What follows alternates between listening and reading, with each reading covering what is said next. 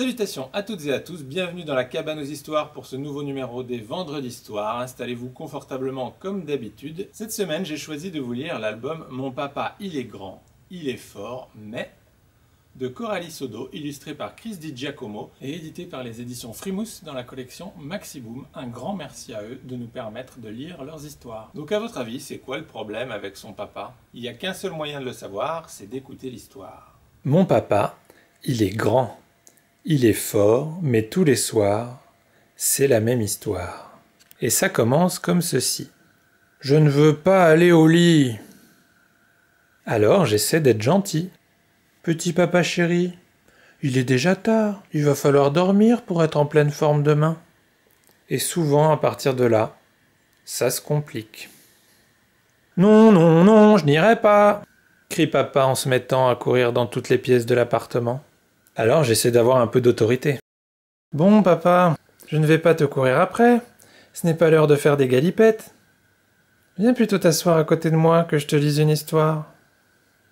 L'idée de l'histoire, ça marche à tous les coups. Papa vient s'asseoir sur mes genoux. Il est un petit peu lourd, mais moi aussi je suis grand et fort, et puis j'ai l'habitude. Le problème, c'est que quand l'histoire est finie et que je dis Maintenant au lit, papa chéri, Là, papa m'attrape dans ses bras et me supplie. Une autre histoire, s'il te plaît. Une autre histoire. Juste une. Et il me regarde avec ses petits yeux de chien battu. Alors je craque et on choisit une autre histoire. Et quand celle-là aussi est terminée, ça ne manque pas. Papa m'en redemande une nouvelle. Juste une. Mais il ne faut pas exagérer. Papa, on avait dit une histoire, alors ça suffit pour aujourd'hui. Maintenant au lit. Je vais te border. Papa fait mine de pleurer en se glissant dans ses draps. Et là, je pense tout bas.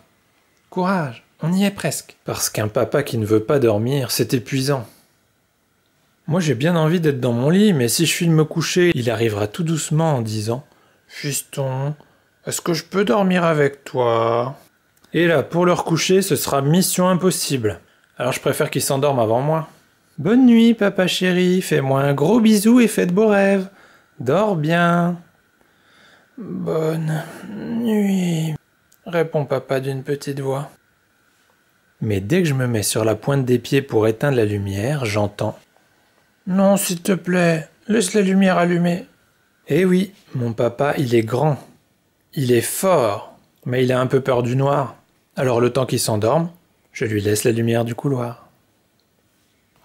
Fin Alors, ça vous a plu? C'était rigolo cette inversion, parce qu'en général, c'est plutôt les enfants qui veulent pas aller dormir plutôt que leurs parents. À moins que vous aussi vous soyez comme le petit garçon de l'histoire et que vos parents ne veuillent pas aller dormir le soir. En tout cas, il faut écouter ses parents et aller se coucher quand c'est l'heure pour être bien reposé le lendemain.